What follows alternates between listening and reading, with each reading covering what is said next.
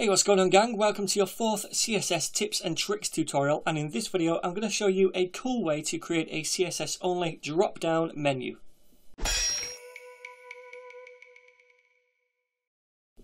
Okay, so first of all, as always, I've uploaded all of my course files to my GitHub account and you can find them for this video in the CSS tips and tricks repository. I'm going to leave this link down below. What you need to do is make sure you're on the correct branch first of all, 04 CSS only drop down menu. The files are located inside this folder right here. So if you click on that, you're going to find some image files right here and the index and styles file as well. Okay, so that's the finished code. So let's get cracking on with the code. And by the way, I'm using Atom for my text editor and I've also got a package called Atom Live Server installed on this. This is going to let me spin up a local server on port 3000 so I can preview uh, my index file in this browser. Okay, so if you want to do that, just install that. Then all you need to do is press Control Alt 3 and that's going to spin up the server as well for you. Okay, so Inside this image folder, we just have two images. These are on my GitHub account, like I said. We have a closed icon. That's the burger nav for the uh, closed state of the menu. And we also have an open icon, which is a cross, which we're going to click on to close the menu. So we're just going to be using those two images. And yet, we could probably style these in CSS, but since this video is not about that, I'm just using images to speed it up, okay? So, we also have an index file over here, and it's just basically a blanket index file at the minute. All I've done inside here is add a title and also a link to a style sheet over here on the left. We've not done anything in the body yet. This style sheet has in it just one rule at the minute. It styles the body and all we're doing is giving this a background colour of a light grey, giving the whole page a font family of Arial, font weight of bold, a colour of this kind of purpley shade and then a font size of 18 pixels, right? So the first thing I want to do now is start creating the HTML of this menu that we're going to create. So first of all, let's create some kind of surrounding element, some kind of wrapper element for this menu. So I'm going to create a div to do that. I'm going to give this a class equal to drop down menu. Just like that. And this is going to surround the whole menu now. Okay. So inside we need to do a few things. First of all, I'm going to actually add the menu content, the links if you like. Okay. So to do that, I'm going to create a div and I'm going to give this a class equal to menu hyphen content. So this is going to surround all of the different links and these links are going to be displayed in an unordered list. So instead of me writing out all of these links, what I'm going to do is just quickly paste them in instead. And as you can see, just a UL tag, series of li tags, and inside anchor tags with a home, about, store, contact, and blog link. It doesn't really matter that they're not linking anywhere. So this is our menu content. What is going to be displayed in the menu when it is dropped down, when it shows, if you like, or when it's open. Now, the way we're going to do this using only CSS is by using an input and a label, right? So normally when we create some kind of drop-down menu, when we click on a button to open it and close it, we'd use jQuery, JavaScript, or some other kind of library. Now, in this tutorial, we're not going to use any of that. All we're going to do is stick to CSS, and there's a really cool way we can kind of mimic this click event using CSS, and that is using an input field and a label. So, first of all, I'm going to create this input field, and I'm going to explain why we're using this in a minute. So this input field is going to have a type equal to checkbox, right? And then we're going to give this an ID as well, equal to menu. Okay, so now we have this checkbox, we want a label as well. So I'll say label, and then it's going to be for equals, and then it's going to be equal to whatever ID we set here. All right, so this is a label, and we've spelled that incorrectly. A label for this particular checkbox, right? So when I type in now menu here, what this is going to do is associate this label with this input. So if we click on this label, it's going to check this box right? Because we've made this association right here. So let's just give this some text inside the label. I'm going to call this menu. If I save this now, we can view it over here. We can see this checkbox, and I'm going to zoom in just a little bit so you can see that. This checkbox right here, you can see when we click on the checkbox itself, it checks it, right? And also when we click on the menu, it checks it as well. So we've made that association. When we click on the label, it checks the box and unchecks it, all right? So now that is all we need to do for the HTML. We just need to style this up now so that when we click on this, it opens this stuff, when we click on it again, it hides this stuff, right? So let's go to the styles.css to do that. So the first thing I want to do is just style up this content first of all, all right? So let's just do some basic styles for this. So we're going to target the drop down menu and then inside here what I'm going to do is give this a background of white just so it stands out a little bit from the grey background of the page. So I'll say background is going to be FFF. We're also going to give this some padding. We'll say about 20 pixels all the way around. We're also going to give this a border bottom. So it's going to have like a thin strip of purple at the bottom. So to say that, I'll do border bottom. It's going to be 2 pixels and solid. And then finally, it's going to be a hex code of 603D7B. That's the same color as this text right here. Okay. We're also going to give this a box shadow just so it jumps out from the page a little bit as well. So I'll say box shadow. It's going to be one pixel, two pixels, three pixels. Then we're going to give it a background of RGBA so we can use this alpha channel right here and give it some kind of opacity and it'll be black which is 000 and then 0.2 for the opacity okay so let's save that now we can see it stands out a little bit this menu from the page and we have this border at the bottom as well which is quite cool Alright, so by the way, this is not going to be um, the greatest looking menu you're ever going to see, but that's not the point of this tutorial. I just want to show you this functionality of a drop-down menu without using JavaScript.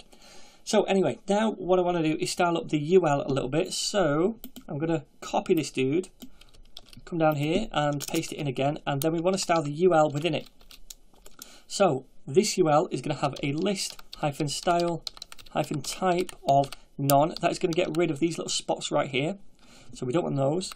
And we also want to remove the padding. So we'll say padding is zero. So if we save that now, we get rid of the spots and we move everything left. So it's flush to the side of the menu. Okay, so the next thing I want to do is style up the links inside. So again, I'm going to paste this drop down menu in and say A for the links. And inside this, what we want to do is display them, first of all, as block so that we can say we want a padding of 10 pixels all the way around now. And then we want to give this a text decoration of none, which means it's going to remove that underline effect. So if I save this now, then it looks a bit better. We're also going to colour these the same colour as this purple. So I'm going to say colour purple and now it looks something like that.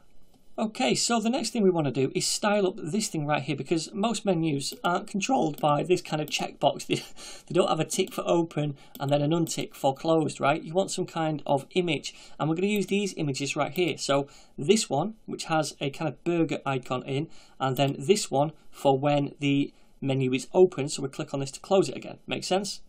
So that's what we're going to do. We're going to use those two images and we're going to style this thing right here, okay? So the way we're going to do that is by coming down here and saying drop down menu and then the label first of all inside it we're going to display this as block first of all right so it becomes a block level element now we're also going to say cursor is going to be pointer which means when we hover over it, it's going to have a hand instead of this little arrow. Okay, so if I save it now, you'll see that. So you can see this little hand now when we hover over, which says we can click it. We're also going to give this a background image, and it's going to be that closed icon. So we'll say background is going to be URL, and inside we need to pass through the path to the image, which is in the image folder, forward slash closed.png. We're also going to say we don't want this to repeat, so I'll say no hyphen repeat. We only want to show this image once, and it, we want it to be on the left and center up and down. So if I save this now, we can see this icon behind it right here, but it still doesn't look quite right. So what I want to do now is come down here and say padding is going to be, and it's going to be 30 pixels for the top, 0 to the right, 30 pixels to the bottom and then 80 pixels to the left. That's going to give this image room to breathe. So if I click save now, we can see that image right there and it looks big because I'm zoomed in. But if I restore this back to default, it's a little smaller. Okay, so there's our image for this menu icon, right? Now we want to get rid of this thing right here. We don't want that to show, do we? So let's now say input and then it has an ID of menu and we're going to say display none. right? But before I do that, if I click on this, remember this is the label. This is being checked, right? If I click it again, it's been unchecked. So even if we set this to display none, when we click this, it's being checked in the background and it's being unchecked when we click it again. So now we have this checked and unchecked state when we're clicking on this icon right here and we can use that state to style things differently, right? Because we can use a checked pseudo class to style something. So I'm going to come down here and what I'm going to do is create first of all a little comment which is going to be toggle effect. So now what we can say is we want that input and we want to detect when it's checked, right? So this pseudo class of checked, which is a colon and then checked, is going to apply when this input has a tick in it, when it's been checked or when we've clicked on this, right? Now we don't want to style the actual input. What we want to do is style this thing right here, okay? We want it to become a cross when it's open. So what I'm going to do is use the general sibling selector. So that looks something like this. It's this little squiggly line, first of all, right? And then whatever the sibling selector is. So in our case, it's going to be dot, or rather, just a label. So let me just go back to the HTML to explain this. So right here we have this input, right? And when it's checked, we're saying, okay, well, grab the input, then grab the general sibling, which is the label. And a general sibling will match up to anything that is on the same level as the original element. So you see like these two are on the same level, right? But this UL is not, but these are. This UL is nested one level deeper, but when we use the general sibling selector, we can say, okay, we want to grab the input, use the general sibling selector to grab an element which is on the same level, which comes after the input, and then we can use a different selector for each one of these, so label or menu content, which is what we've done. We've done it for the label right here. Make sense? So now we're targeting this label and we're displaying it differently or styling it differently when the input box is checked or when this thing is clicked. Okay? So when this is checked, what do we want to do? Well, we want to change the background image to the cross. So we'll say background is going to be a URL and this time it's image and then forward slash open dot png and then we also want to set this to no repeat and left center for the position. So if I save this now, if I click this, it's going to turn to the cross, then it's going to turn back to the burger nav, cross burger nav. And that is just because this input is being checked and then unchecked and it's being styled differently because we're using this pseudo class and the general sibling selector. Make sense? Cool. So we also now want this to close and open. So by default, we want this closed, right? So to do that, what we're going to have to do is come up here and at the top, I'm just going to say menu hyphen content. Remember, the menu content was this thing right here, which contains all the links. So by default, what I want to do is give this a height of zero or a max hyphen height of zero, right? So if I do that and save it, then okay, the height of this is zero, but it's still showing these things. And that's because we have to set the overflow to hidden. So I'm going to say now overflow is hidden. Then we don't see those things, right? And when we click on this, we get the cross, but we're still not showing the links. So now what I want to do down here in the toggle effect is this time say input checked so we're saying when the input is checked again, again we're going to use the general sibling selector, but this time we're going to grab this general sibling right here, the menu content. It's still on the same level and it comes after the input so we can do that. So it's menu content. So let's go back to the styles and we'll say dot menu hyphen content. And this time what we want to do is give this a max hyphen height of 100%. So we're saying it can be open. Okay, it does have a height. So now, when I click on this, it opens. When I click on it again, it closes. There we go. And you've got a fully functioning menu, which is drop down based on a click event, and we're not using any JavaScript whatsoever.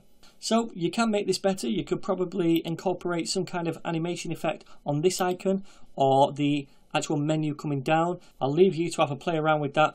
If you do have any good demos of what you've done, feel free to share the link down below. And if you enjoy these videos, my friends, please don't forget to share them, subscribe, and like. And I'm going to see you in the very next video.